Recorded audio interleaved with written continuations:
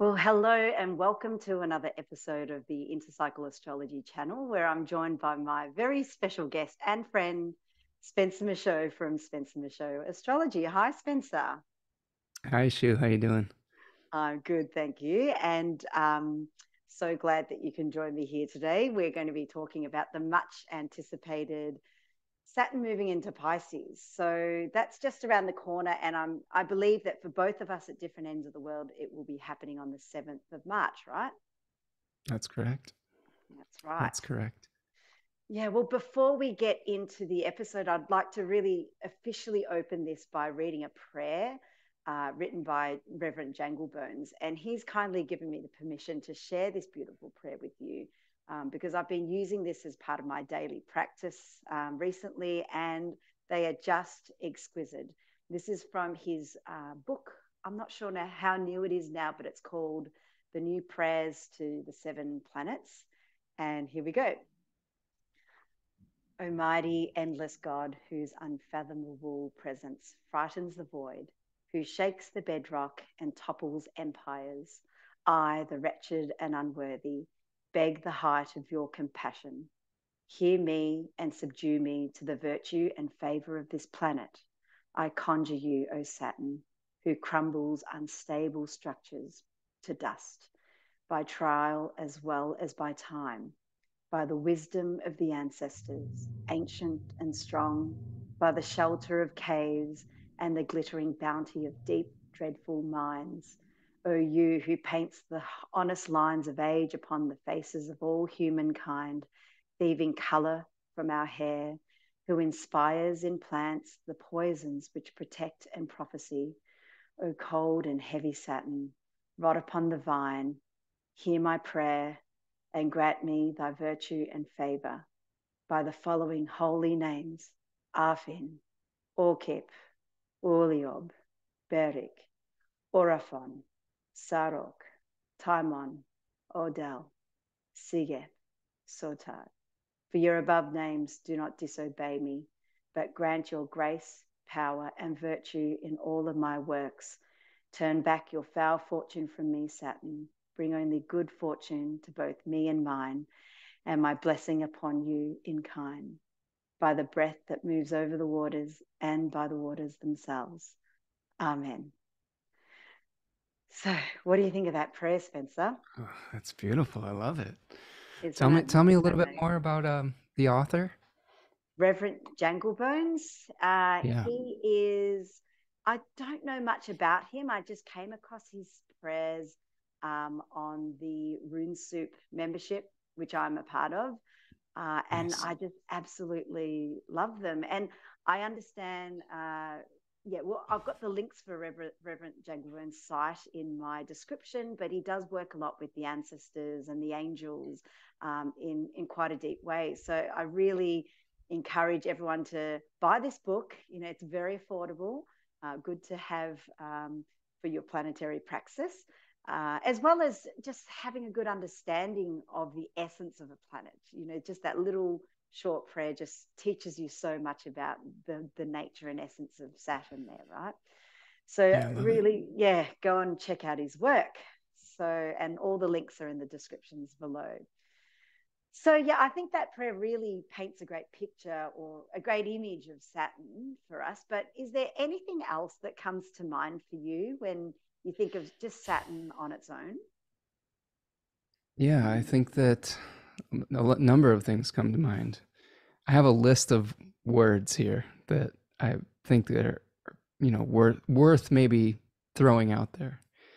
Consequences, exile, casting out, decay, concretization, eliminations of options to make something real, boundaries, darkness, cold, separation, maturation, opposition, balance, increasing that which is lacking, decreasing that which is excessive, fear, melancholy, weight, binding, reality check, feigned appearances, social blueprints, nemesis, restoring right proportion, eliminating excesses, hard lessons, slowing things down, patience, plodding, blockages that take time to resolve, utilizing time to overcome, confinement, or exile, restrictions or fetters, bindings that compel us towards action or prevent action, oaths, promises, obligations, sobriety, um, organization of form.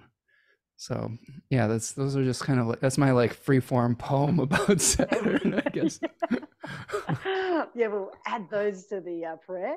Um, but beautiful yeah. list, and yeah, I think I'll be replaying this and jotting all those ones down because that is a really great list, Spencer. Thanks for yeah. making it easy for all of us and coming up with that. I think Saturn, you know, Saturn's interesting to me. It it's the one thing that sticks out to me that I think is we don't hear talked about enough is the exaltation of Saturn in Libra that we were we were kind of touching on this earlier before the show. You know, there's a, a portion of the Orphic hymns, right? I've got the uh, Patrick Dunn version of the Orphic hymns here, but this is from the the um, the Taylor. Uh, I believe it's Taylor who is the 16th or 17th century author that did the English versions of these. And I thought this this really made a lot of sense to me. So I'll read just a little bit of this as well, the Orphic hymn to Saturn. It says, Ethereal Father, mighty Titan, hear great fire of gods and men whom all revere. Endued with various counsel pure and strong, to whom perfection and decrease belong. Consumed by thee, all forms that hourly die, by thee restored, their former place supply. I mean, I'm just going to stop there for a second because that, that to me is that's where I think we see the connection with Saturn balance, increase and decrease. I think that oftentimes we feel Saturn as the cosmic no or the limit. But I really think there's a secret part of Saturn that is that is also about increasing something to bring it back into an equilibrium. And I, I, I think that's worth exploring, you know, like the concretization of something, like making it real, I think is yeah a Saturnian thing as well. Yeah, well, I think we definitely saw that concretization, I guess, from five and a half years ago when Saturn has been strong. You know, little did we know that around Christmas 2017, when Saturn moved into Capricorn, that we were about to head on a five and a half year journey of, um, yeah, nemesis order, like restoring proportions. Yes, in in reality, it looked like you know, the gradual crumbling down of structures, um, leading to oppression, scarcity, the control, and the fear. But um, so we saw those strong qualities of Saturn. Uh, and, and, for five and a half years in its own domicile. But now that it's about to move into a Jupiterian domicile in Pisces, I mean, what what kind of things are you anticipating with this? Because it, it's vastly different. I mean, I think it's going to be on some level a breath of fresh air, I think, because I think when Saturn is in its own domicile, you know, the qualities of feeling exiled, cast out, trapped are strong. And I think that, you know, once it moves into a Jupiterian sign, you know, there will be other challenges, but it's it's a mm, they're going to be different. And I think that generally, when a planet has a benefic host, there are some challenges that are less I wouldn't say less intense, but they're they're they may not feel on the surface as weighty, as heavy. I feel like this will be a slightly less heavy Saturn, if that makes sense. Yeah. Um, yeah. Yes. but I think it's um, it's like Saturn maybe might not like the influence as much as we all might. right. You know I mean? Right. Yeah, it just softens Saturn to a degree that makes it easier for us to work with on the everyday, whereas a Saturnian, the, the essence of Saturn might struggle with the wishy-washiness of it all and having to, like what you said, um, remove the options so that we can make come to a decision, which will be interesting to see how that goes in Pisces. It, it feels like a strange bedfellow for for Saturn, Jupiter, and Pisces, because to me the essence of Pisces is a dissolving action, right? It's a dissolving of boundary, of structure. It is a merging of differentiated awareness into return to the one. And you know, Saturn is is sometimes separates things out and opposes things where Jupiter and Pisces is trying to bring order and, and merge things together. So it is a little bit of an awkward type of thing. Although I will say, Jupiter and Saturn are uh, diurnal sect mates. So yeah. they do have like that in common. And I think that there's a kind of a secret relationship that I learned from Charles Obert's book, The Classical Seven Planets, that I think is interesting too, where he talks about Saturn creating the blueprint, the social blueprint that Jupiter is going to beget into form. So there's this relationship of Saturn saying, here's what is possible. And then Jupiter is saying, okay, we're going to make many different forms of this. Like Saturn is sort of like the platonic ideal of the horse, if that makes sense. And then Jupiter says, I'm gonna, I'm gonna make like a, a polka dot horse. I'm gonna make a brown horse. I'm gonna make a pink horse. I'm gonna like bring these into existence. And it's drawing on that ideal of a horse, though. Does that make oh, sense? Isn't that in, yeah? I've always sort of viewed it the other way around, where Jupiter comes up with the vision and the plan, uh, and Saturn brings it, makes it happen. But yeah, but I think what you're saying is that Jupiter has license to kind of make all these different variations of the plan. Um, right. It sounds like that's what the Obert um, description. Yeah, I mean, I have a, I can quote it if you want. Hold on, um, I'll, I'll be here curious to hear his. I'd be curious to hear what he has to say about this because to me, this is this this to me is really interesting and worth talking about in this relationship, especially because Saturn is in Jupiter's domicile. Um, right. I I think. And and just while you're looking for that, I mean, Saturn yeah. and Jupiter have ha- you know they're always in a continual dance but like we had a significant milestone of the saturn jupiter synodic cycle in 2020 when they came together in a new elemental sign so really we it's almost that we can't talk about saturn without talking about jupiter and this moment when it moves into pisces makes that notion of the two come together even more. Like they're on the same team for something. They might not necessarily get along or have the same ideas but they're definitely working towards something together. Well and, myth- and mythologically they're related too right? You have saturn as zeus's or kronos as zeus's father and he's swallowing all the siblings and zeus is the liberator. You know it's saying okay like you know there's this containment energy with saturn and then there's this liberation energy with with Ju- jupiter jupiter. Jupiter i love that. It's getting late over here. I know. Uh, that's a great that's a great name. jupiter. Sorry good punchy. I found this quote though and th- this is in okay. the jupiter section of charles obert's the classical seven planets source text and meaning. And he says Jupiter is the planet just below Saturn. Along with the Sun, they are the largest planets, so each of them has an association with rulership, power, and control. In mythology, it was interpreted in, in the mythology as it was interpreted by Plato, Proclus, and others in the Platonic tradition. Jupiter or Zeus is the demiurge, the creator or architect who formed the manifest universe along the lines of patterns revealed from higher levels through Saturn. Jupiter is also referred to as a fabricator, working with existing materials to shape and order them. In terms of the planetary mythology, you can think of Saturn as giving creator and architect Jupiter the laws and patterns that Jupiter looks to as the template for his work. Ah, right. Okay. Yes, that makes sense. Yeah, there's so many different nuances. I guess, like I've heard also, uh, I think it was Mari Garcia from Australia that talks about Saturn and Jupiter as the king and the kingdom. Mm. I think it was, uh, yeah, I'm not, I, I just assumed Jupiter was the king and Saturn was the kingdom, as in the operations guy, right? Like having to organize things and make things happen. Jupiter has the vision, but I'll have to check with her on that, what she, what she meant by that. So, um, but maybe if yeah. you think about it with the myth, look at like how prolific Zeus was. He just like mated with everything and everyone and he just was begetting children all you know everywhere That's right?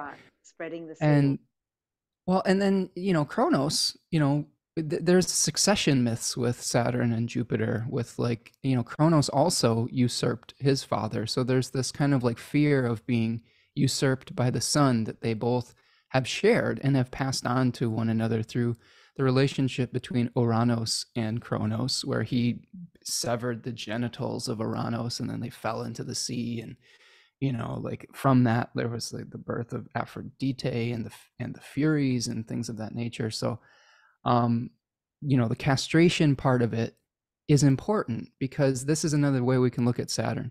Saturn castrates things into form. So it castrates multiple possibilities into one specific thing. So that's kind of its way of begetting things is by eliminating the other options. Whereas I think Zeus or Jupiter is begetting many different options. It's saying, all right, I'm going to proliferate. Whereas mm. Saturn is concretizing things into one specific thing. Yep. Just like a stonemason would chip away, cut, cut things off to create the final piece, right? And yes. Saturn being such a strong archetype, well, I mean, stonemasons being such a strong archetypal image of Saturn, uh, it totally makes sense.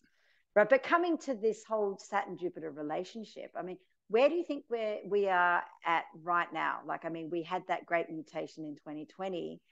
Um, how do you see the relationship of that Saturn being in sextile to um, to Jupiter, you know, how is that going to be playing out in collectively, like in in culture, in the world? Where are we at in this twenty year cycle?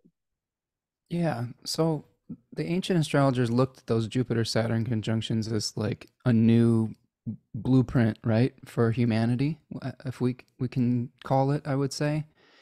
And it's it's a a 20 year cycle like you were saying but when we get to the 10 year portion of it, we get the opposition, and then Jupiter becomes the overcoming planet. So right now, Saturn is still in the overcoming position to Jupiter. So I think that there's a, we're still grasp, grappling with integration of what that Jupiter Saturn conjunction was going to mean. And I think on some level, that Jupiter Saturn conjunction in air signs for the first time in like a couple hundred years, right? Or I guess we had a previous one in Libra, but it was just a little little preview of the quote unquote air age. Mm-hmm. Um, I think that we're seeing a need to decentralize things. I think we're seeing a need to uh, utilize resources in a completely different way. We've seen the uploading of consciousness into clouds, like with the air you know, kind of the air age type of thing. Mm-hmm. I think we're grasp, grappling with um, how do we have communal responsibility and what does it mean to be an individual in in those systems that require sacrifice that require communal responsibility that require uh, working together as a whole for the you know the survival of the species Mm. And I think that, you know, we're, we're, we, we got a preview of that with Saturn and uh, Capricorn and Aquarius, where we had a global pandemic where basically Saturn was asking us, are you, this, this requires distance. This requires um, discipline. Your actions do affect other people. Um, the air that you breathe literally is shared by others. And now we'll see Pluto moving into Aquarius that will be like a big shift of like almost like a, a test. Like, oh, well, you thought that did you pass the test during the Saturn part of this challenge? Um, mm-hmm. and then, you know, Saturn moving into Pisces is going to be like, okay, now what is what is real and what isn't? Like, are I, I, this is the other thing I see about the transition between Aquarius and Pisces. Think about Aquarius as making things rational, making them intellectual. I compare this to playing the guitar. When you first learn how to play an instrument, you have to learn all the theory, the music theory. You have to to make it conscious, to make it, the movements in your hands. You practice your scales, right? When you when you perform, you have to uh, forget all of that. It. That's yeah, you, it, it has to become an instinct.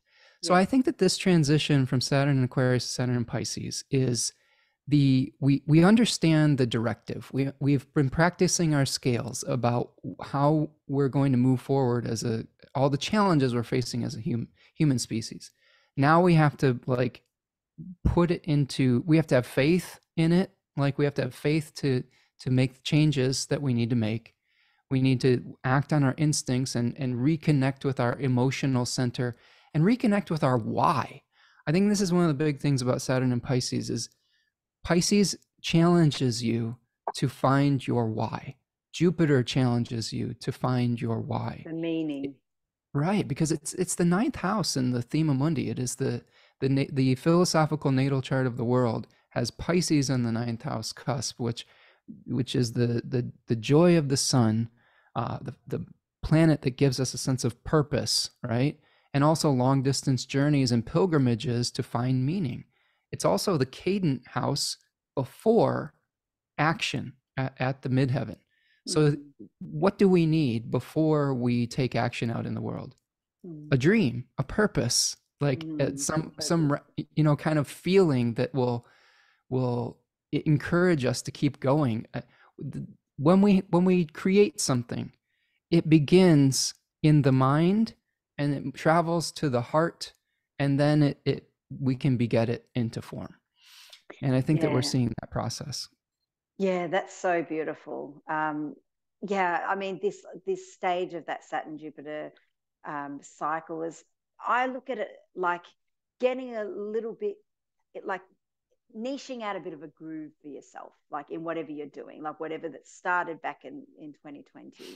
Um, yes, it's been challenging, but now it's like, yes, we can kind of see the way we've got a little bit of a groove and we feel comfortable to just keep going in the cycle now. So it, it feels like a really great year um, with these two planets in sextile to to really be productive and to move forward with our dreams and to to manifest our realities the impossible dream the the the the ideals and ideas that we've had so yeah that ninth house thema mundi connection is brilliant um uh, but yeah just just um it, like if you want to hear more about the saturn and jupiter cycle i do have an interview with charles um, jamison uh, who did a bit of research around this cycle um, a few years back. So we talk about it there in more detail. But um, coming back to that ninth, ninth house area, um, I wanted to look at Pisces uh, as, as a concept here. And for those who may not be aware that you are a bit of a Decans expert um, in the astrological community. So I just wanted to ask you if you could break down these three decans of Pisces um, for us um, sure. so that we can get a bit of an idea of like what we're actually going to be um, trying to concretize, you know, when Saturn moves through them. Yeah, so the decans are the the three 10 degree sections of each sign, and th- they help us to visualize, um, you know, the process that we go through when when a planet is moving through the sign. There's sort of a beginning and middle and end or a cardinal fixed and mutable decan in addition to uh, each decan having its own planetary ruler. So in pisces we're dealing with uh, a jupiter house but we're going to see a planetary ruler saturn jupiter and mars and i'm showing you tarot cards because there's a syncretization with the tarot um, from the Golden Dawn with each individual decan. So if we just look at it visually, we have a Saturn ruled decan in a Jupiter house. So you can sort of make the leap of saying, okay, this is Saturn in Pisces. This may be really the the uh, the experience of Saturn in Pisces is you see a figure in the Eight of Cups that is leaving behind some kind of material success or some kind of uh, fulfillment, right? Is saying, you know, this isn't actually bringing me joy. So uh, th- the first decan of Pisces is really about a feeling of dissatisfaction and discontentment. And that encourages you to go off in search of a higher purpose and a higher meaning and to maybe even go internally and it's kind of like the you know the the drop in and tune out type of thing. I don't know if this was in the first Saturn and Pisces period with, you know, between 64 and 67, if that was when that kind of, uh, that phrase, that turn of phrase came about. Um, but I, I'd like to compare these decans with the Matrix, the story of the Matrix would be a really good way to think about this because really Neo's journey speaks very much to the decans of Pisces. So, for example, Pisces 1, Neo is uh, working and he's not feeling satisfied being part of the machine, quote unquote. And he wakes up, right? He like, he's like, oh man, he follows the white rabbit to like some new reality to some teacher that says you know you can ha- you know stay asleep or you can wake up to the reality of your circumstances. And to me that's like the waking up to the reality that we are not just meat suits you know? We're not just like these fleshy bodies. We are connected in some kind of spiritual way. And and it's all about kind of how do we merge consciousness with you know our inner and outer realities? How do we reconcile those two things?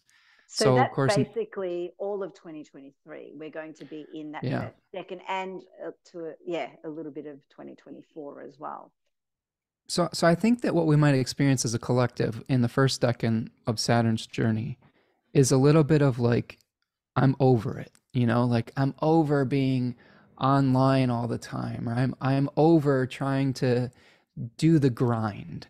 I, I know that when jupiter moved through pisces in the very beginning i had been grinding out content on my youtube channel. Like i was trying to do like a video like every day. Like i was like and like long videos or research and i was like this grind this is killing me slowly. And when jupiter moved into pisces 1 i was like maybe I just don't have to do it this way. Maybe I just can stop. like, yes. So, and I started changing possibilities coming. New, exactly. I was like, I'm done just grinding it out Saturn style. Maybe there's a different way. And I settled on, you know, doing something once a week, and that felt much more comfortable for me. I was able to kind of balance out all of my uh, other responsibilities. So I think that there's a little bit of a less is more type of feeling with Saturn in the first decan of Pisces and a surrendering to the siren's call of your spirit, of your soul, um, where there's just this feeling that there's, is this all there is? And can we like move forward in a way uh, that is more reflective of our, of our emotional center and our intuition rather than just our rational mind. It's it's a mm. search for it's a wandering for a sense of purpose, I think. That's yeah. that's decan one. Right. And I feel like just to that, the, the we're, we're in this moment, like right now, based on transits with Jupiter still in Aries and Saturn about to move in Pisces.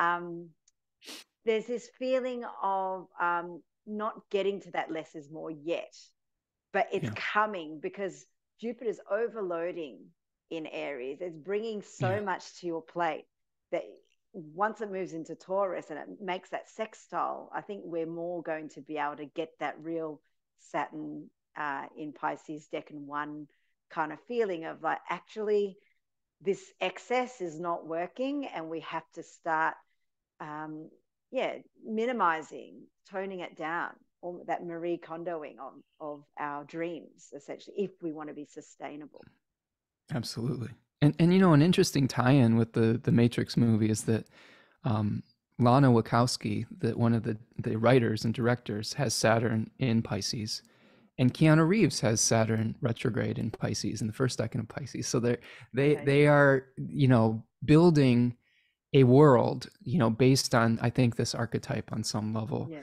and you um, see that happening so much where um, a, an actor or an actress will have a, a configuration and whilst they may not particularly display those traits obviously in their personal lives, but the roles that they take on uh, will be their chart. So right. know, they they play in this sort of special space where you know they yeah their personalities or their charts kind of live on um, very publicly as well as um, very privately. So it's like a projection of their inner worlds out into the material reality. It's quite fascinating to see that. I love making those connections. It's it's always like aha! It's a it's a light bulb moment every single time. So it's very cool. Yeah, nice one. Good find. So, you know, we go through the discontent period of Saturn. You know, Austin Coppock calls this this decan the labyrinth. Um, T. Susan Chang calls it the farthest shore. So we may feel lost at first. I think there's a, there is a feeling of like confusion and a feeling like I don't know where to go now. I've I've I've released the past. Um, I think that when we saw the Saturn Jupiter conjunction in Aquarius, we knew that the the old way of doing things had to change. Like that, this was a whole new reality that we had to step into.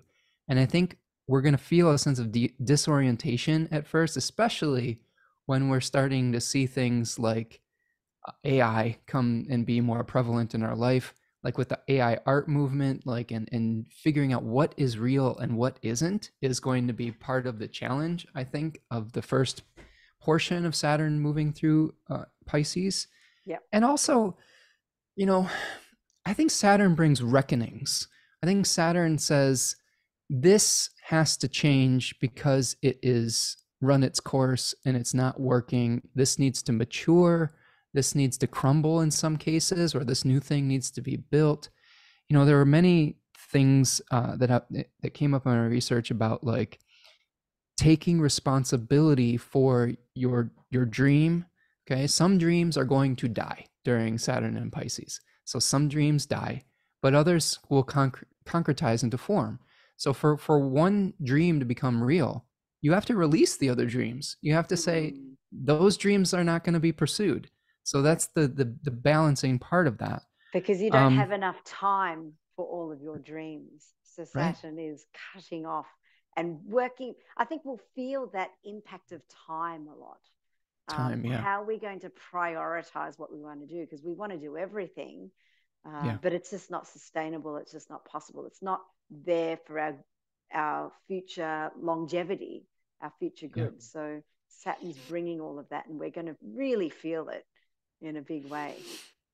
And you know, I think that the Saturn and Aquarius time, uh, you know, we've really felt a lot of distance with one another, like with the Zoom, the, the prevalence of Zoom calls and things like that. I think that there's going to be a desire to dissolve some of those boundaries and to merge again emotionally um, for better or for worse i mean i think that there are some advantages of having saturn in its own domicile for having you know mental discipline and healthy boundaries but some of those things get real challenging when we get to saturn in pisces um, you know when we move to the did, that is that a decent uh, exploration of the first decan would you oh, say that, yeah, beautiful. Okay. Always. Okay. Always very comprehensive with you. Um, when we get to the second decan, we see the Nine of Cups with a figure who is feeling very satisfied. This is like a, a, feeling of satiation. Um, this card, I think, is one of acceptance, but also aspiration. Um, where, if you think about it, if we we we look at our matrix metaphor, you've got the leaving of the matrix world and waking up to a new reality in the first decan then you have the training montage you know where he's the apprentice where he's i know kung fu you know where he's like learning kung fu and like learning that he has the ability to manipulate the matrix to manipulate you know spiritual energy to create a phys- an experience of physical reality within that matrix of possibility. Um, and and there's a little bit of a sorcerer's apprentice energy with this decan. It's a double Jupiter en- energy. So we go from a Saturn ruled decan to a double Jupiter decan where it's like anything is possible, right? Like if we only if we can dream it, if you can will it, it is no dream. That's like the the from the Big Lebowski, right? Theodore Herzl. This is the real sort of the magic decan yeah. Pisces. This is where the it's magic happens. Very Jupiterian. Very. It's like one of the most Jupiter decans in the entire circle. Um, and we we should also like think about too. I like to think about Pisces as a a dual sign. It's not just Jupiterian. It is it is Venusian as well. So think about the the the harmonizing quality of Jupiter, the merging quality, the the, uh, the beautification the the desire to see beauty through through harmony okay like jupiter is related to harmony and peacemaking um, but we can be attracted to those things and there's this water has this quality of be, being able to be a solvent and bring things together mm. So I think that there's a strong desire to merge reality and dream in the second decan. And right. so in in our current times, that will be the first half of 2024. Essentially, that could be a particularly great six months for magic for all those magically so. inclined. Yeah, right. Nice. We have to be careful too, though, because sometimes Saturn will deny something in the decan itself, and it will cause us to have to work or have more patience for the thing that it represents. I've seen this in natal charts and in clients. Saturn in your natal chart can can completely cut you off from that energy. Like let's say we had Saturn, uh, for example, Lana Wachowski has Saturn in the second decan of Pisces. There was probably a time when when she felt cut off from magic in her youth. I don't I don't know her story very well, um, but but where she felt like she was not able to merge worlds and then eventually people will grow into that and be able to manifest that as they get older if they're doing the work of saturn okay if they're doing the hard work of saturn so i think that we will have to have patience with our dreams like maybe our dreams would go slower you know like maybe they will slow down and we have to realize that our dream takes work to manifest um, with Saturn in that decan of Pi- Pisces, we also have to be very careful of hubris. That decan has a lot of mythological significance with um, Prometheus's assistant Dolus, who was uh, basically two, figures, Dolus and Phaethon. And both of them were apprentices or, you know, young people that were trying to copy the master. In Dolus's case, he was Prometheus's assistant, and he tried to fashion um, humanity from clay, like Prometheus was doing, while Prometheus was off on like business or something like that. But he ran out of clay, and he could only uh, craft enough for the body without the feet. So Prometheus was pretty impressed by this when he came back and said, "You know what? I'm going to fire." my version, which is complete, and we're going to call that Aletheia, truth. And we're also going to put yours in the kiln that is missing the feet, and we're going to call that pseudologos, which means falsehood. So to me, we have to figure out what is true, what isn't. The truth will always be able to run and keep running, while falsehood will, will eventually fall down. Ah, um, beautiful. Yeah, faith but don't on. Think Saturn but... will help in that for us? yeah, it's going to call it out. It's going to bring out the consequences and not not yes. let. You know, Saturn's a total reality check time. Yeah. yeah. If you've got your rose colored Jupiterian and Pisces dream that you started last year or whatever, now it gets real. like, you know, um, but yeah, I think that, you know, Phaethon also was like, was Helios's son and wanted his his dad, the the Lord of the Sun, to allow him to drive his chariot, uh, and you know to prove that he was the son of a of the god of the deity. Mm-hmm. And Helios was like, "Please, anything but that. like you're not ready." And but he made a promise to him, and he let him drive the chariot. And he, of course, all hell broke loose, and you know he burned up the sky and the earth and all this. And eventually, Zeus had threw a lightning bolt at him and knocked him out of the sky, and he drowned in the river Eridanus. The, this is the story of the fixed star Achernar, right? Uh, related to that Phaethon myth. So we have to be. It's, it's sort of the Icarus story too, like where we're flying a little bit too high. Yeah. So just be careful of overconfidence around that period of time. Yeah, um, I mean that yes, double Jupiter is it's a symbol of extremes, right? Totally, one hundred percent. So yeah, so, so, whilst that second decan then is potentially very fruitful, we have to be cautious um, mm-hmm. that we're not taking things too far, that we're not taking on what we can't keep up or what what's going to fall down, that kind of right. thing. Yeah, absolutely. Excellent. So what does a third so, decan hold? So when we get to the third decan, we have the Ten of Cups, where we see you know a happy family underneath uh, an ephemeral rainbow um, the combination of water and fire, because this decan is going to be the in between phase between the last decan of Pisces and the beginning of Aries. So this is like water and fire make rainbow. Okay. Ah, right. yeah. uh, which is pretty neat. Um, this is a Mars ruled decan, so we go we go Saturn, Jupiter, Mars, Chaldean order. All right. And when you have a Mars, when you have Mars in Pisces, you could say, right? Um, there is a crusading energy. This is a I'm willing to fight for my beliefs. I'm willing to sacrifice for my beliefs. I'm willing to martyr myself for my dream. Okay. So we have to be careful of what we sacrifice for when Saturn's moving through the third decan of Pisces. There could be consequences to feeling like we are a victim or a martyr, or that we we might go we may get a check to going too far in pursuit of a dream potentially. The spirit associated with that decan is Elpis, which which translates to hope, and it's related to the Pandora's box um, myth.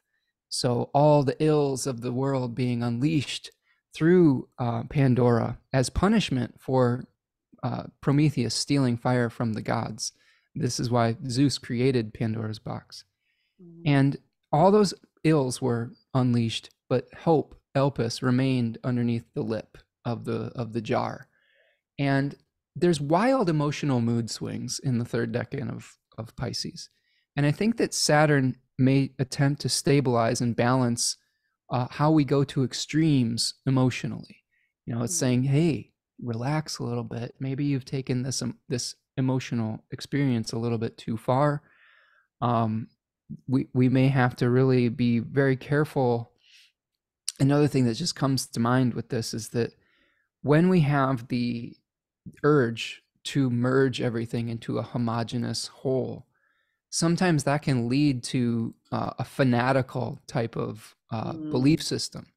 And it also can lead to things like cultural genocide, where we say everything needs to be homogenous and this isn't does not fit the narrative. That's so, that single focused focusedness of um, Mars that are ruling that decan. Right. Yeah. Right. So just be very careful around that period of time to mm. maintain your hope. Try not to fall prey to despair or morose, like with a feeling of doom. Okay.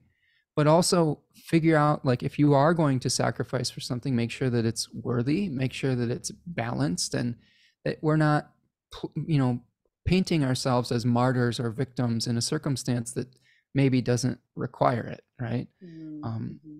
I think well, we there's have to... that sort of risk of volatility a bit in that third decan, it seems. And I mean, yeah. as it goes, when Saturn moves into Aries, I mean, that's a whole nother story, but that's potentially yeah. a time that's going to be quite challenging collectively for all of us, you know, post sort of 2026. But I can see how this third decan could be building up to that you know this yeah. volatility the single focusedness of you know like crazy ideas perhaps being willed upon like upon your life. Um yeah potentially these two malefic planets ruling you know being in that vicinity of that third decan could be something that we need to watch out for and that's probably more later down the track you know so you know around 2025 is when we'll see saturn going into that third decan well, and consider too that Pisces is a place of change. It is a, a, a mutable, double bodied, cadent sign, right?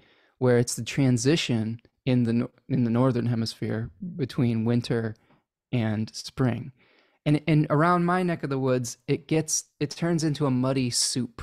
Like the, the ice melts into the and it create and it merges with earth to create this very fertile uh, mixture that eventually will feed the plants. So mm-hmm. the, the new shoots of spring in the northern hemisphere. I'm actually curious as to how that plays out on the southern hemisphere. What what does Pisces season represent in nature down there? Um, this year, I have no idea because we we have had all of our seasons flipped. We're only yeah. starting to really get into summer now, uh, which is wow. when we're usually starting to pull out all of us, our summer things and so who knows? But but generally, I think Pisces season is a time of bounty. Like we get a lot of produce at that time of the year. Um, it's starting to cool off, so we're starting head to head into that autumn. Um, things starting to die down, but not quite yet. So this is often a really lovely time of the year to be out and not too hot in the heat and not too cold yet. Nice. Yeah, yeah. So I can see how the bounty of Jupiter kind of comes in. Um, but yeah, this third decan does, I mean, it does sort of concern me a little bit, even though the card looks really happy rainbows. yeah. Um, but there is kind of a facade there, like some smokes and yeah. mirrors around, you know, um, how how honorable our dreams and ideals are. Like, are they only self-serving, or are they really one for the collective? And I think the more work that we do in the first two decans of cutting down and of um, uh, in in the second decan of really working through the process uh, will hopefully lead to a better third decan of like um, being able to discern something that's more valuable and of service and to the world and a greater connection to wholeness and unity and and collective um, idea. So there's there's a real ephemeralness to that decan too. Like rainbows are very temporary. Like they're mm. beautiful. And but if you're trying to like, you know, build your entire life around the rainbow, um, you know, you're you're gonna have problems because it's there one day and it's or one minute and it's gone the next, right? Yes. So so I think that there's there's challenges that come with uh, how do we take advantage of the time that we have and appreciate the beauty of the moment without um, getting too attached to it. I think that's uh, less. There's a detachment lesson in that as well. Mm-hmm. Well, um, let's move on to some historical um, examples, sure. only because this example of Nelson Mandela really speaks to, I think, what we've just been speaking about, you know, especially in that third decan, um, where in 1964, Saturn had moved into Pisces, and that's when Nelson Mandela was imprisoned into Robben Island, uh, which was basically a labor camp. And him and the prisoners there, their job every day was essentially to break rocks into gravel. Uh, and then the next time Saturn moved into Pisces again in 1994, Nelson Mandela was freed from prison uh, recently before that and had won a Nobel Peace Prize um, and then became the first Black president of South Africa. So lots of Piscean themes there, lots of Saturn and Pisces themes there. I, I mean, just that idea of breaking rocks into gravel, like dissolving the stone, you know, I think is so uh, such a strong Saturn in Pisces imagery. But um, what I also see is that the there is the ideals that he held so strongly. Um, you know these these ideas about how society should be organized, uh, ideals about humanity, um, and the whole way that humanity should be unified, is what he was fighting for. Um, and he suffered. You know, he he was that Mars in um, sorry, third decan of Pisces, he really was the victim and the martyr there, wasn't he? But he he held on. You know, you've got to give him that. Um, well, and, and you you could see that something that was born at the beginning of one Saturn cycle comes to fruition uh, at the at the next one, right? There's always kind of connections with things that begin and end when at the beginning and ending of the Saturn cycle itself. So he was imprisoned during the beginning of the Saturn cycle, and then he was actually able to manifest his dream at the end of it. Right? That that uh, story reminds me a lot of the movie The Shawshank Redemption, which came out in 1994, which is also when Saturn was in Pisces, and that movie that's one of my favorite movies. I don't, I don't know. I oh, just it's so beautiful. Yeah. And it really speaks to kind of what Nelson Mandela potentially was having to go through, like false being falsely accused of something, having to maintain his inner faith while in a prison, while in exile, while being contained within something. You could even look at this as like Jupiter or Zeus or, or, or not Jupiter, but one of the other children because Zeus was actually hidden away from Kronos inside the belly of Kronos, biding their time to be, you know, liberated by Jupiter or Zeus.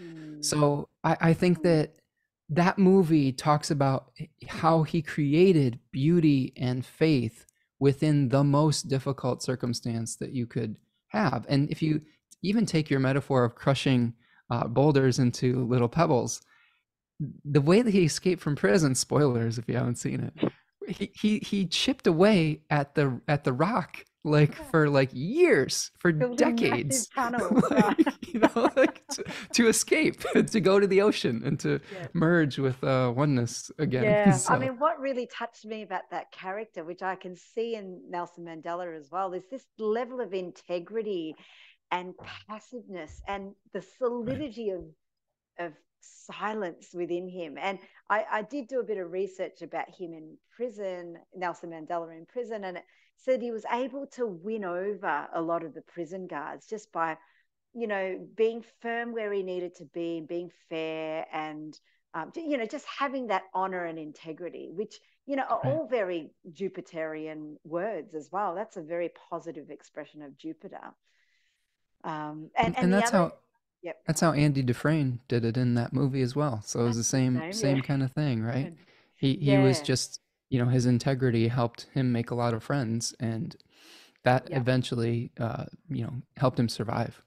That's right. And there was this um I guess this whole sacrifice and being prisoner to president um and and basically having this almost like Jesus consciousness like yes you're a martyr and you're a victim but at the same time you're also revered um, and i think we could possibly see some of this archetypal imagery play out over the next couple of years this sort of jesus consciousness like people being idealized and um, and put on a pedestal for, for something, you know, eh, like for, for whatever reasons. But I, I think that's a very Piscean thing. And uh, Saturn, of course, making it a, a, a, reality in our perception of like looking at the good in everyone, looking um, whether whether looking at the good in someone is through our rose-colored glasses or not. So that's both a warning as well as a nice thing I mean, uh, Saturn also could bring the consequences of doing something of that nature. True. So, so Saturn could also be like, "Hey, you've been putting this person on a pedestal. Here's what they really are like." And That's maybe, right. Yes.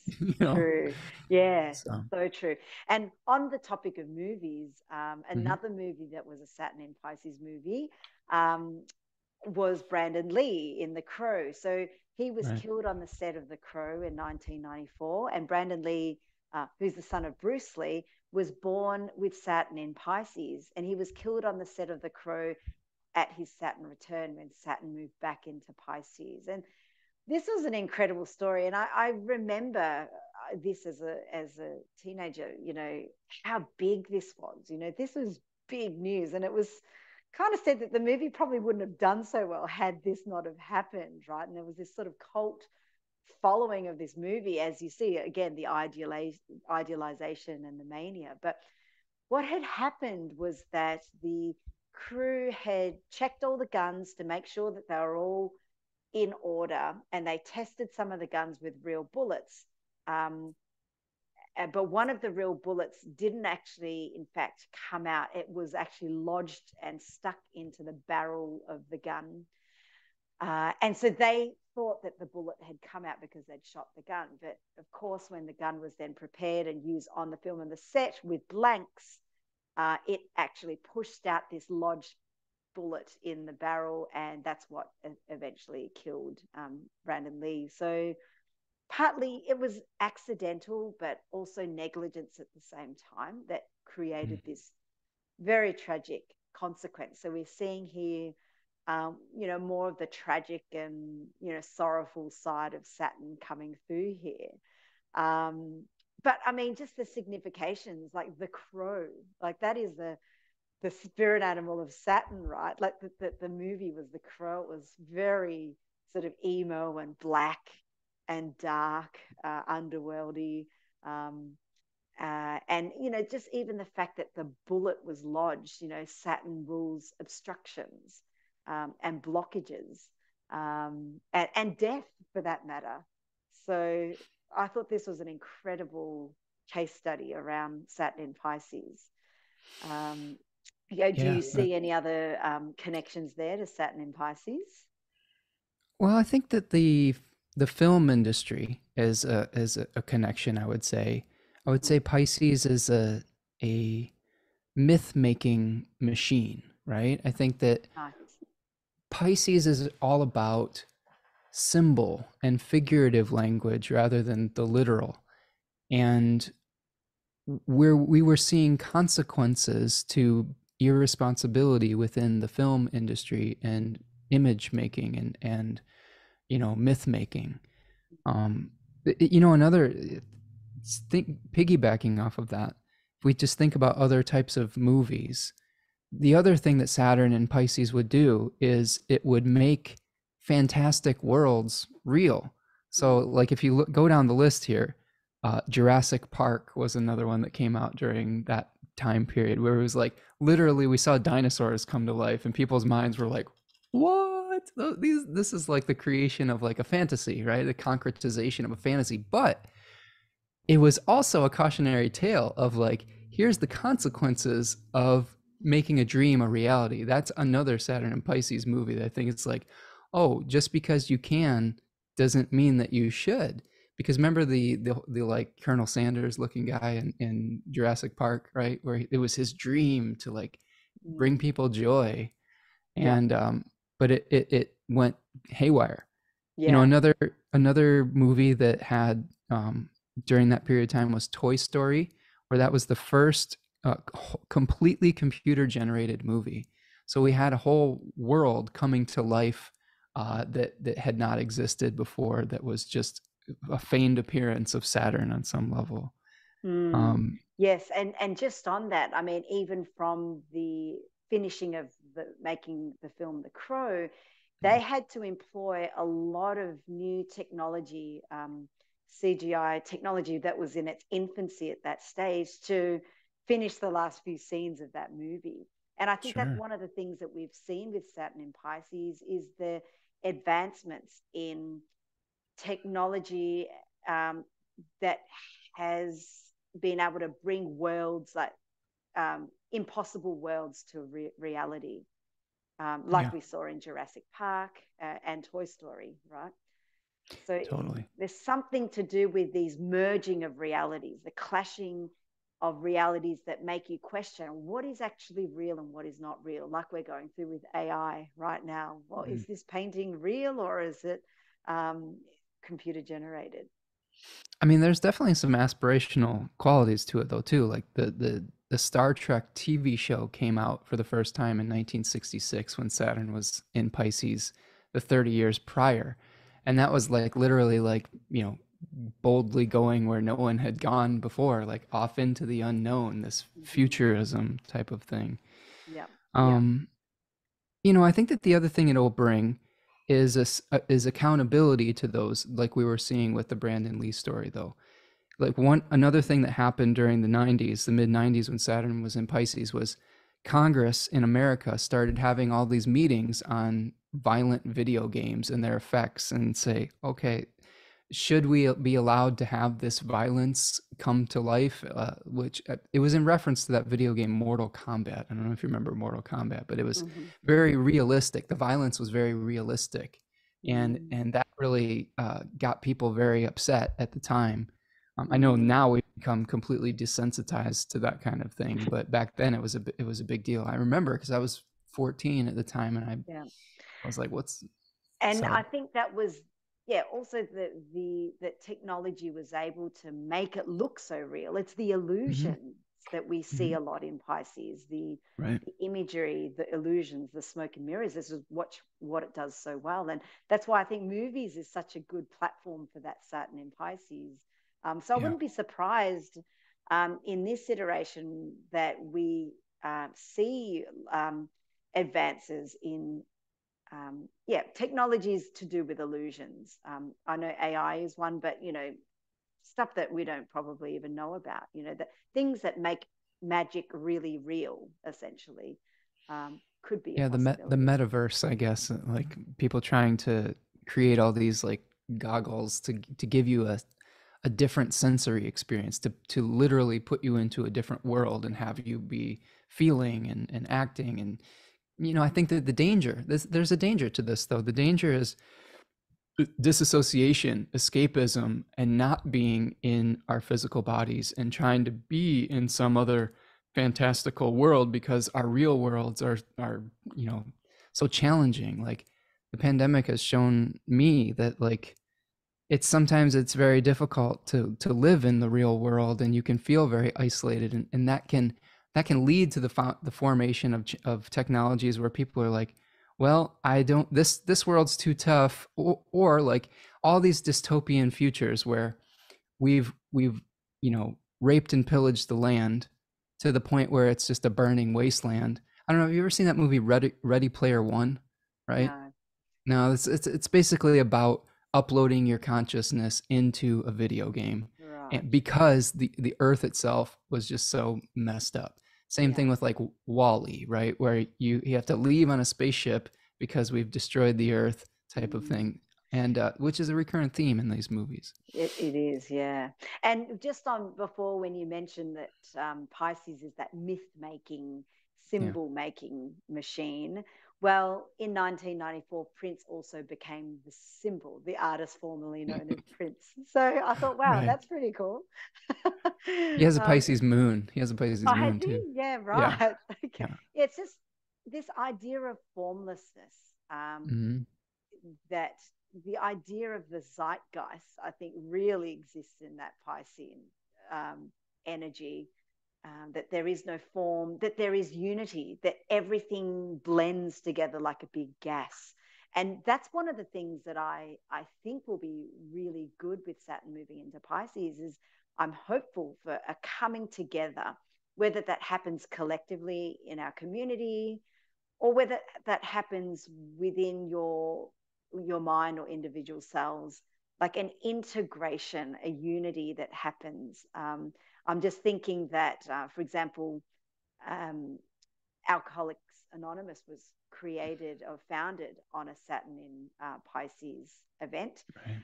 Um, and their whole ethos was to, firstly, accept each other and come together and to find God in whatever ways that you can, like whether it's through meditation, whether it's through religion or exercise or whatever you call your spiritual practice and that finding God was the 12 step path towards overcoming your addiction. So I thought that was a very Saturn in Pisces idea, but it kind of draws on this whole notion of, um, yeah, being in that ex- being in that bubble and expanding together. Um, but also uh, sobriety, like so, I think that's the oh, biggest. Sobriety, true, yeah. Is, yeah. is that there's consequences for your you know, for addictions and escapism and challenges like that. And how do we get sober together, right? Yeah. In a very Piscean way. Uh-huh. But but but make no mistake that the, the it's not just a the goal of Alcoholics Anonymous is not just merging with a higher power. It's to get sober. So like right. yeah. So like I mean that's really the the foundation of it. That's just yeah. the method. So yeah. yeah, I think that's a good that's a really good example of like saying, okay, it's it's taking responsibility for your addiction yes. and you know through faith through faith yeah so there's this real conc- concretization of um, these Piscean tendencies, like bringing it down to reality, no more letting it sort of waft in our peripherals, but letting it be understood and embodied and for it to be worked on is i think a saturn in pisces um, way and and as you as you're going through that process you start to see the reality of your dreams coming true as in aka the hard work that that's involved in sure. say ending apartheid you know all the hard work that went you know to creating this union you know it didn't just happen out of thin air like people had to go to jail for it. It took 30 years, you know. Um, but also, one of the other coming together stories was the establishment of a single European market as well. That happened at Saturn in, in Pisces. So I see a lot of, in historically, a lot of coming togetherness, um, mm-hmm. which is a hopeful thing to go into um, for for the next few years. So, so Spencer, is there, you know, we you know, can you kind of give us a summary now as to, you know, what what do you think are the big things that we need to watch out for? What are the big lessons of Saturn in Pisces over the next couple of years that we should all be aware of? Well, I think that Saturn is going to use the imagery and resources of the sign that it's in to be able to carry out its agenda. And I think that we're going to see all, some things related to the oceans as well come up. I think that's going to be a big deal. Mm-hmm. I was mm-hmm. seeing a story recently of a, a young gentleman. What's his name here? Boy, Boyan Slat, who is a young Dutchman who um, is the leader of the nonprofit Ocean Cleanup. I saw a story today that he just recently received a $25 million donation from the Airbnb CEO to fund his project that he's that has been his dream for many many years and this this young gentleman was born with Saturn and Pisces mm. and I think that we'll see a, a, need to take responsibility for our ocean for our oceanic systems yeah. I think and we'll he's see going through his Saturn in uh, right. Saturn return right Saturn return I remember he was I listened to a podcast interview with him on Joe Rogan years ago, and he was young. I couldn't believe yeah, super how young, young, he was. Yeah. So, yeah, gives me hope that young right. people are, are, there to kind of fix up the mess of the older generations. Absolutely. it's a very hopeful story. I read it on, on an, on an app I have called the Good News Network. So I was like, oh, yeah, right. that's that's awesome. like, let's clean up the oceans.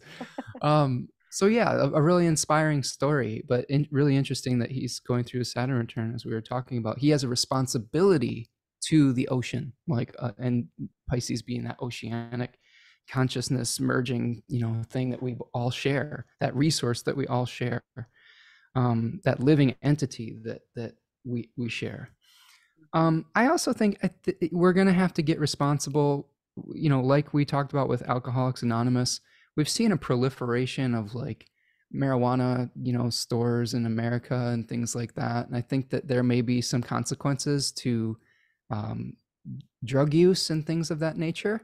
You know, if we didn't really talk about Kurt Cobain yet, but Kurt Cobain committed suicide after uh, a heroin, you know, journey back in 1994, and that really started people asking questions about drug use and and things of that nature. So I think there's a reckoning with trying to be realistic about our escapist tendencies, our our need to go off into another world. It, it will both bring it down to earth and make it real, but it'll also show us that hey, there's a responsibility that we need. There's a reality check that's going to come in with that kind of thing. Mm. I, I mean, also we speak. I mean, we've we've locally uh, in Australia, we've just had approval for psych- psychiatrists to administer psilocybin as a treatment. Wow. So right. that was pretty big news this week. Um, and I thought par for the course was Saturn in Pisces. So, well, but think about like a combination with that could be not that we would not use psilocybin, but that now it's a regulated government program. Do you see yeah. what I'm saying? So there's That's regulations around it. That's right. Yeah. It's official. So, so we might see more things like that where, where it just becomes more structured instead of like just the wild west we maybe we will find more people turning to psychedelics to, for healing and things of that nature but it's probably going to be more supported by the structures of society so that it's done responsibly rather than in a way that is irresponsible. Yeah well i saw today that there was a um, there was an advertisement for one of the hospitals looking for people with a methamphetamine addiction to go mm-hmm. on a mm-hmm. psilocybin trial. So, mm-hmm. so we're seeing, I guess, a new method here of psilocybin trying to heal addictive um, problems. Uh, so yeah, that that just literally was hot off the press this morning. I just read that. Uh, so very, we're very close to the ingress now. We're really starting to see this wave, this Saturn in Pisces, Pisces wave falling over us. This could potentially really transform the way we see the world, um, just like how Albert Einstein's sort of theory of relativity that came that was discovered that he came up with at a Saturn in Pisces um, transit. Um, that completely changed the way we saw the universe. So, so this is potentially, you know, the next couple of years, one of those periods of time. So it's something that we could all, you know, um, be on this cutting edge, um, you know, border of, you know, of walking between these two worlds. Yeah, just showing us how interconnected we all are. I mean, True. you know, if we think about I- I'm I'm a fan of fungi and of mycelial networks, and I've been learning a lot about mushrooms lately. Um, not necessarily just psychedelics, but just mushrooms in general, and how they, you know, the the networks that they have are are can stretch for miles and miles and miles. And we sometimes when we think of a mushroom, we just think of the fruiting body that is Mm. in a, a, a temporal space. And to me, you know, Pisces is like a mycelial network where it shows us the the strata that's under the ground that connects all of us that is interdependent and then we we pop up as individuals you know but we're connected through these these networks Mm. and i think that you know we, maybe we'll see that being said maybe we'll see some some uh, research with mushrooms uh, that are we, we've already started seeing this mushrooms that are that eat plastics and that Mm. eat like That like clean up. toxic waste yeah clean Yes. up exactly Yeah. so yeah. using that underground you know uh, strata to to remedy something that has got, fallen into disrepair could be something we see too Mm. um and i Well, think just in, just binding us to our our feelings again we've Yeah. we've had to become so hyper rational um you know and and disconnected in a way to see the big picture to like figure out where we're going but i think we're going to want to feel again we're going to be bound to to feeling Yeah, that's nice. So that's something that, um, yeah, bringing, yeah, infusing spirit, but also infusing our emotions and feelings into a concrete, a concrete way of living. So that it really is what Saturn's doing, bringing us back to equilibrium. So I think that's a really lovely note to end on, um, and something to look forward to for the next three years. Um, but so I really wanted to thank you, Spencer. Your insights have been really incredible. Um, always love talking to you and nerding out on these topics. Um, I know you're super busy and you've got, got a lot going on. Can you quickly share what's going on right now, what you've got on offer, um, and how people can get in touch? Yeah, you can you can find me at spencermichaud.com. Um, that's my website. I also have a YouTube channel, Spencer Michaud Astrology, and I do weekly uh, new moon and full moon forecasts. Uh, they're basically live streams where I have a community come and ask questions, contribute. Sometimes we have a guest. You've been a guest on the show, and we have discussions. Um, I also do this with the astrology of the month, and it's just really creating a nice community and discussion. And and I'm a fan of long form content. You can tell that I'm a little bit long winded, so I apologize for that. But but I like taking the time and the and the space to really dive into depth with things. Um, I I just can't do like the five minute video. Like so, if you're if you're looking for No uh, TikToks for you, Spencer. no, I'm not on TikTok. So I am on Instagram and begrudgingly on Twitter, but I'm not active that much on Twitter. But what I will say, if you're if you want long form, if you want like to to merge into a topic uh, and explore it from every angle, that's the type of thing that I I like to do. Um, I also have readings. I, I do um, you know natal readings, transit readings, mythos readings, where we look at your your mythological stories, your decans, all of those things. Um, and I do guided group studies every once in a while as well, where we we pick a book and we uh, work together as on a group with it. I think the next book I'm going to do is a book that talks about mycelium.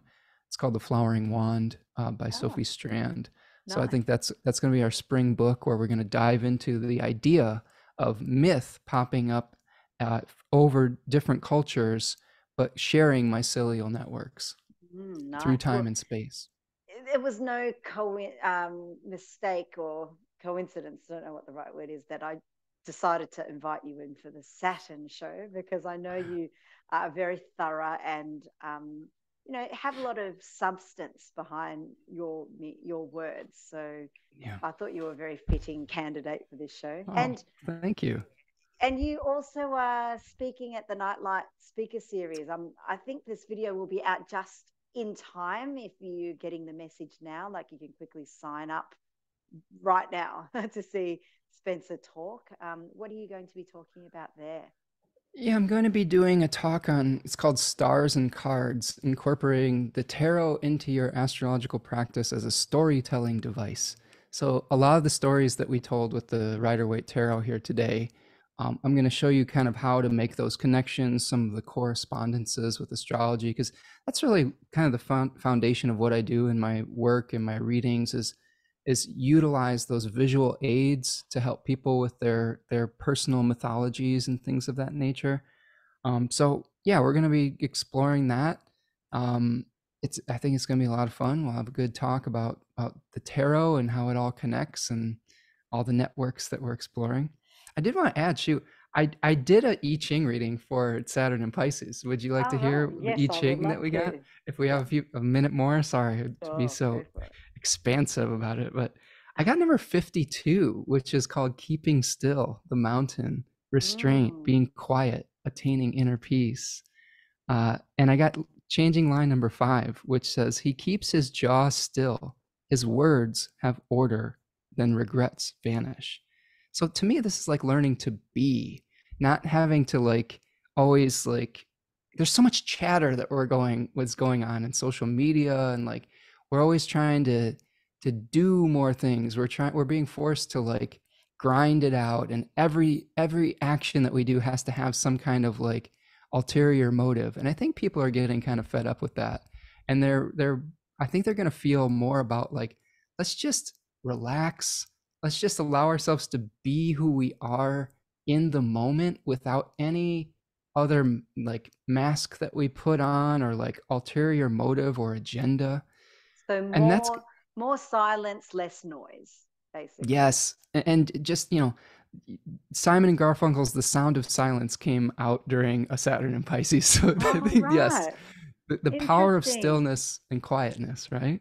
Yeah, and that changes to hexagram 53, which is called developing gradually, gradual advance, slow and steady development, faithfulness and persistence. So I think we're just going to see us slowing down and, uh, you know, I think we all could use a little bit of oceanic um, acceptance, just accepting us ourselves as we as we are, rather than this, you know, always this aspirational.